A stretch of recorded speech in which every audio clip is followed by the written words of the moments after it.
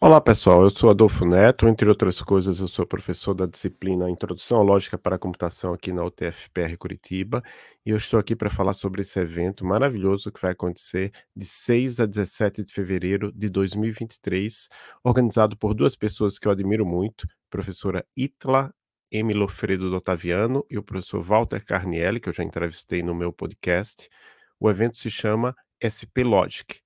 Vou traduzir aqui Escola de Ciência Avançada de São Paulo sobre lógica contemporânea, racionalidade e informação. Por isso que é o log de lógica, o I de informação e o C de contemporânea. Ficou meio estranho, né? Porque a racionalidade não apareceu aqui, mas ficou uma, um, nome bonito, bem, bem preparado aqui, a imagem tá, tá legal, o site está muito bom. Ainda faltam 156 dias para o evento. E além de, de ser esse evento aqui, um evento razoavelmente longo, né, de 6 a 17, vai ser o, a comemoração do aniversário de 90 anos de Newton da Costa. Eu estive na comemoração de, 90, de 70 anos, se não me engano foi 70, é, a gente está em é, vai 2023, é, foi em 2003, teve uma comemoração de 70 anos lá no CLE. O que é que é o CLE? É o Centro de Lógica, História da Ciência e Epistemologia da Unicamp, que vai, onde eu fiz disciplinas durante meu doutorado. Eu fiz o doutorado em Ciência da Computação na USP, mas eu fazia disciplinas como aluno externo lá no CLE, boas memórias lá do CLE.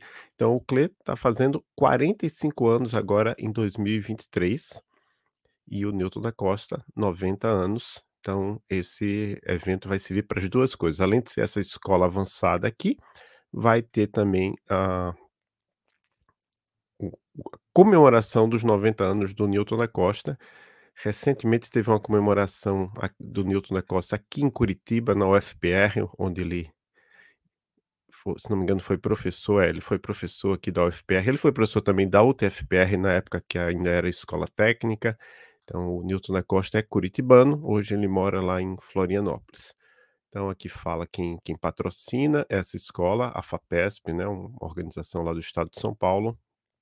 E os tópicos que vão ser cobertos vão ser História e Filosofia das Lógicas para Consistentes, as escolas australiana, Bélgica, não, belga, brasileira, israelense e polonesa de paraconsistência, lógica e raciocínio, lógica e informação, lógica e argumentação, aspectos metodológicos sobre a interpretação, a tradução e a combinação de lógicas, lógica, probabilidade e inteligência artificial. Então, bem aberto aqui. Estudantes de graduação, estudantes de pós-graduação, pós-doutorandos, que tenham terminado seu, seu doutorado até cinco anos antes do evento, eu estou imaginando, né? Porque aqui cinco anos é, de todos os países são encorajados a aplicar. Então, vai ter um. Eu acho que você vai poder pedir uma ajuda para participar do evento. Eu não sei se é uma ajuda, agora depois a gente vê as instruções, mas é, é, essa escola, pelo que eu entendi, não é aberta a qualquer um que simplesmente quiser pagar e participar. Você tem que estar nessas categorias para poder participar. E, olha, para os que forem selecionados, ah, tá aqui já. Ele, a, a, a SP Logic vai pagar os bilhetes aéreos, seguro médico, acomodação e refeições durante a escola. Então, maravilhoso isso aqui. Dificilmente você encontra um evento que faça isso mesmo na, na área da computação. Então, olha, aqui tem um link para o site do professor Newton da Costa. Na verdade, é uma página sobre o professor Newton da Costa na Unicamp. Em inglês, uma foto bem antiga, ó, de quando ele era jovem. Aqui fala da Universidade Federal do Paraná. Ele era professor, ele era engenheiro civil, que nem fala da, da UTFPR, da Escola Técnica, mas quando eu me encontrei pessoalmente com ele, ele falou sobre isso. E aqui a página do CLE, o Centro de Lógica. Interessante. Ah, não, Lógica, Epistemologia e História da Ciência. Então é esse prédio aqui, na Unicamp, perto. Acho que tem um, um restaurantezinho aqui, um restaurante universitário, né? Se não me engano, é aqui. Então esse é o o prédio do CLE. E o que é que vai acontecer nessa escola? 8 cursos, 9 palestras plenárias, 19 palestrantes e são 100 vagas. Então 100 pessoas do Brasil e do mundo todo vão poder participar com tudo pago. Fantástico isso, né? Olha, aqui é o link para você pedir para participar. Ó, você tem até 30 de outubro para fazer esse pedido. Começa em 1 de outubro, até, vai até 30 de outubro, e até 30 de novembro você vai ser informado ou informada se for, foi aceito ou não. Então, olha, quem quiser. É, que fala, pode ser aluno de graduação, pode ser aluno de graduate student, é aluno de mestrado ou doutorado, e pós-doutor, postdoctoral fellow, é a pessoa que acabou o doutorado, ainda não tem um emprego, e está em alguma instituição com a bolsa de pós-doutorado.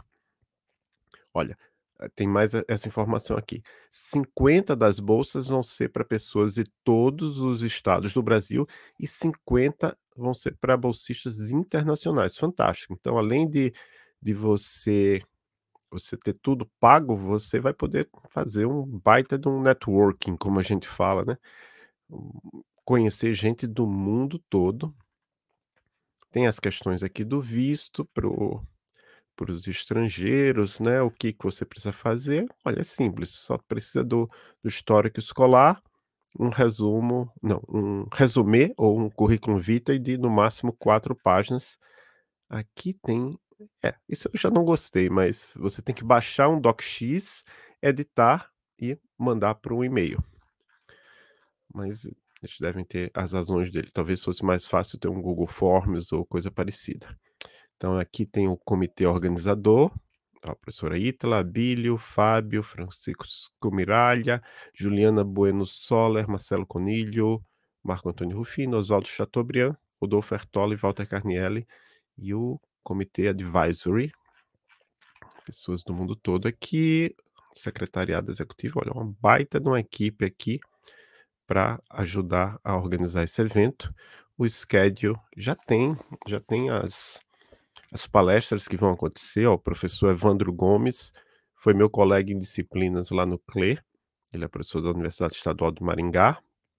João Marcos, conheci também lá na época do CLE, mas ele não chegou a ser meu colega. Dideric Batens, Fernando Zalameia, de novo aqui o João Marcos, Décio Krause, professor da UFSC. Quem mais? Aí está se repetindo os nomes, porque vão ser várias aulas, né? Ao longo dos dias. Otávio Bueno, João Marcos, Graham Priest, que legal.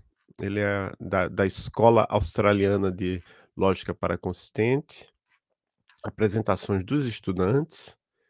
Aqui, olha, um aluno do Marcelo Conilho, com quer dizer, eu imagino que tenha sido aluno do Marcelo Conilho, Hércules Feitosa, Offer Ariely, já ouvi falar esse nome, Daniele Mundici, é... é muita gente, né? Muita coisa, muita atividade ao longo das. São duas semanas ou três semanas? Semana 2. É, são duas semanas, 3 a 17. De novo aqui, Maria Eunice Kilt Gonzalez, Arnon Avron, assisti uma palestra do Arnon Avron na época que eu fazia mestrado lá no, na Federal do Pernambuco. E vai e termina aqui com o Walter Carnielli.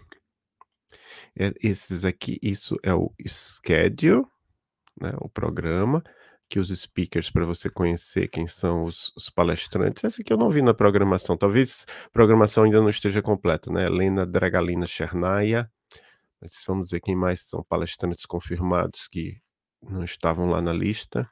Acho que todo só esse aqui, talvez não essa aqui. Vejam que é, é legal porque tem, tem vários homens, mas também tem várias mulheres, né? Talvez não 50-50, mas tem uma percentagem razoável. A lógica, assim como a computação é uma área que tem menos mulheres do que homens, aqui falando sobre cada um dos cursos, tem um resumo de cada curso, tem, tem um resuminho de cada curso. Ofer Ariely. Deixa eu ver quem é Ofer Ariely, por que que eu lembro dessa pessoa? Não sei, talvez tenha tenha sido algum artigo que eu citei ou que me citou. Olha, informação, big data e questões éticas na nova cibernética. Vamos voltar aqui. Isso aqui foi eu estava vendo tudo aqui, speakers, cursos, talks. Quais são vai ter uma aula do Décio Krause, da ah, por isso que eu não tinha visto a Helena. A Helena vai ser uma uma palestra, Otávio Bueno, Graham Priest, Finron Liu, Jean-Yves Beziot, Janusz Ciuciura, Arnaud Avron e Walter Carnielli. Então, aqui o call for application a gente já viu. O lugar vai ser vai ser lá no próprio CLE, em Campinas. Ótimo local, você encontra bons hotéis ali na na região. Talvez até eles hospedem os que ganharem as bolsas no no hotel da Unicamp, a Unicamp tem um hotel, não sei, né, não não vou chutar. Mas aqui tem um pequeno probleminha no site. Vou avisar aqui para o pessoal da organização, porque isso aqui deveria ser alguma uma integração com o Google Maps para permitir que a gente visse onde fica localizado. Acomodação. Ah, não, olha, não, é, eles falam aqui, então beleza. Então, os professores convidados e estudantes vão ser hospedados na casa do professor visitante. É um hotelzinho que tem ao lado da da Unicamp, eu já morei ali perto, era bem pertinho da de onde eu morava, só tinha que passar uma pontezinha em 5, 10 minutos, mas eu nunca me hospedei lá. Eu já vi lá os acho que teve eve esse evento de 70 anos, o pessoal ficou hospedado lá, e eu fui lá conversar com as pessoas nesse nessa casa do professor visitante. Olha, aqui o Google Maps funcionou. Aqui a casa do professor visitante. Aqui tem esse lago maravilhoso, se você quiser dar uma caminhada aqui, num dia de sol, 12 de fevereiro vai estar um um um clima agradável. Aqui a faculdade edu cadê o CLE? O CLE é mais por aqui, não. Então aqui é a casa do professor visitante, aqui tem uma pontezinha aqui que permite que aqui ó, essa linha clarinha aqui permite que você passe dessa região onde eu morava pra dentro da Unicamp. O a olha, tem uma avenida chamada Alan Turing. Cadê o centro de computação? Ó, Instituto de Filosofia e Ciências Humanas, Institutos de da Linguagem. Computação é mais ou menos por aqui. E o CLE é mais ou menos por aqui, mas não não vou lembrar. Deixa eu só voltar para terminar esse vídeo aqui. E aqui contato, qualquer dúvida, vocês mandam um e-mail para splogic@unicamp.br. Sempre agradecendo aqui ao CLE, aos organizadores, à Unicamp, à FAPESP que patrocina, porque esse evento vai ser realmente fantástico. Eu não vou poder participar, porque eu não me enquadro nessas categorias aqui, mas vai ser uma excelente oportunidade para todo mundo que for selecionado para participar, e uma grande homenagem a esse brasileiro fantástico, o professor Newton da Costa. Até a próxima, pessoal.